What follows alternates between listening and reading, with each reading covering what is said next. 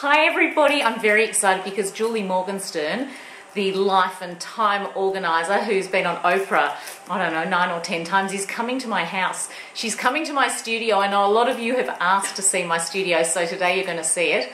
I've tidied up a little bit, but I've kind of got this creative chaos going on, so I have a feeling she may tell me I, I might need to tidy up a little bit. Anyway, I'm, I'm a little bit nervous and I'm excited she's coming. The doorbell's about to go. I just watched her on the circle and uh, stay tuned, here she comes. Everyone, this is what I need an organising and productivity expert. Look who's here, Julie Morgenstern. and she is out from America at the moment. What are you doing here? What are you doing? Uh, I'm here as Telstra's guest. Telstra has just uh, launched the ultimate USB device, which is the world's fastest mobile that's uh, what I need. Yeah. Would that be good if I'm traveling? It's perfect when you're traveling. Yes. It's great for there are more and more people that are yeah. mobile professionals. Australia's yeah. got like a very high percentage of people working out of the office. I love a so. new electronic product. Yeah, I think it's important, and we have to master technology yeah. and integrate it into our lives. It can't own us, but if you know how to leverage it, it can it help It does take over, doesn't it? It can take over. Oh. So, you know, one of the things that I have found is that technology is kind of outpaced yeah the development of our techniques to deal with it. Yes. So there's nothing wrong with technology, but we have to add the human element. Yes, that's so true. Yeah. Yeah. And so the, the new little product, I just have to know because I'm like, when, when I travel, I travel quite a bit. If I was in mm. Sydney and I wanted to upload a video, but the hotel I was staying at was slower, would that be great for that? Perfect. Oh, everybody! Yes, you're no longer dependent on anybody else oh. for your oh. broadband. You're actually carrying it with you. It just oh. plugs right in like a little antenna. I'll put a link so you can find what that is. You yeah. know, because I I haven't seen it, but but I will. You know, put a link up and you can have a look.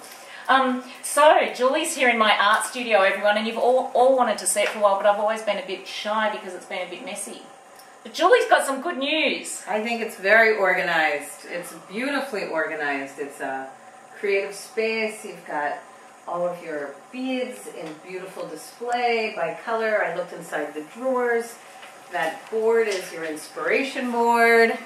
Uh, I think it's great. We looked at it's. It looks like it's just it's a perfect uh, staging area. Really? From, from which you can be creative, which clearly you are. Paul, did you hear that? Very impressed. Paul's my husband. Yeah. I can't believe you said that because that's like the most exciting thing in the world that you've said that I it's have really got true. creative chaos.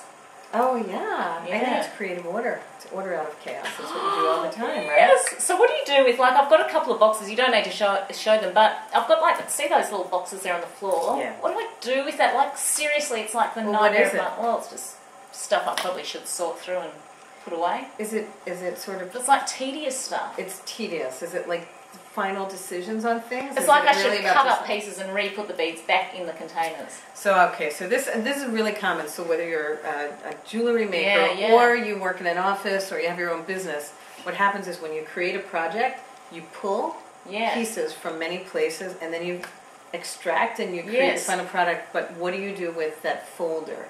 Or the box of bits that. Oh, I don't know. What am I going right. to do with it? What I think, you know what it's like? It's like when you move. Yeah. If you don't unpack your boxes within the first seven days of a move, they stay in your basement for seven years. Right? they never. I've experienced is that true? That. Yes, that's so true. So the same is true when really? you do a project. The minute so you I should just set it on fire. no. no, but when you finish a project, you should tack on 15 or 20 minutes at the end and before you move on to the rest of your life, just get everything back in its place. My mother will love that you've said yeah. that. She tells me things like that. It, it, it's like if you don't do it right away, you're never going to do it. It's because your mind is still fresh on it. Yes, true. So you want to capture. So I should put it away. I should do a project, then put those bits away, then start again, and then go get your cup of coffee. Do you know what I oh, mean? So yes. it's like when you come back from a trip. When you walk through the door, you have to unpack your suitcase immediately before. My husband makes me down. do that. You all know that out there. I seriously have all the washing done that night. Right away. So so My you husband do would that. love you so much. So you do that with your do that with your uh, with your creative work. Yeah. You yes. Can do it. How long would it take you to put that all back? Oh, do you know what it's like? I don't know. It's it's not the creative part. Yeah. But it's setting things up for their next use. That's the way you need to think of it. Don't think of it as putting things away. What do you think of this idea? See this box? I just got yeah. given this box, right? And I thought, what about mm. if I mm. cut all those things up and just put all the loose beads in there so I had like this random box of beads? Why not? Well, it's better than them in the box, isn't it? I think that's a great idea. And that'll be your sort of like the surprise element. When you're Yeah. making something, it's like, let me go to the treasure box and see what The happens treasure box. come out. Yes. the treasure box. That's a great idea. There we are. That's what I'm going to do, everyone. So tell me, you're a Taurus, but I actually thought you were an Aries because my mother's an Aries and she's very organised. Do you think some star signs are more organised? Because I've got Virgo girlfriends who are like really tidy. I don't think it's star sign. Can't I blame it on being a don't think Sagittarian it's, then. It's not star sign. I don't think it's gender. Do you I- think it's learnt? It's absolutely a skill that everybody can learn. Organizing Really? is not a talent. It is not a talent. It is a skill, and Really, really? Have you always it. been tidy? No. Oh what? Oh my God! I was a walking disaster area. Were you? Disaster. Lived out of piles. Spent half my day looking for things. Wow. Well, that's inspiring. Oh, when I was a kid, my parents would. I had a huge, the top floor of a big brownstone. Yeah. I had like the maids' quarters at the top. Yeah. There was no clear surface, and I would get banished to my room once every eight months for the weekend, and told that I could not come out until there was a walking path from the door to my bed. And it, it would never occur by Sunday night. I would get lost in the chaos. And the So what argument. happened? My daughter was born. And Wow. uh, when my daughter was born, which was now 25 years ago, um, I just knew I could live in this chaos, but I could not subject somebody else to this. It wasn't fair. Yeah. I was very motivated to Yeah, like yeah. get it together so I could get her to school, you know, get fill out the kindergarten application, and Yeah. so I was very motivated at that time. So then, do you, now do you love it? Is it your passion? Do you love it? My, I definitely feel much more grounded and centered when Yeah. I'm organized than when I'm not. So I I, find it. I used to find that chaos creatively stimulating, Yeah. and I was afraid if I got organized, my creativity would get squelched. Yeah, yeah. But it didn't. I'm more creative now that Yeah. I'm organized. But my passion is really helping people because Yes. I think organizing is not the. It's really not about organizing. It's about helping people express their unique selves and make their unique contribution.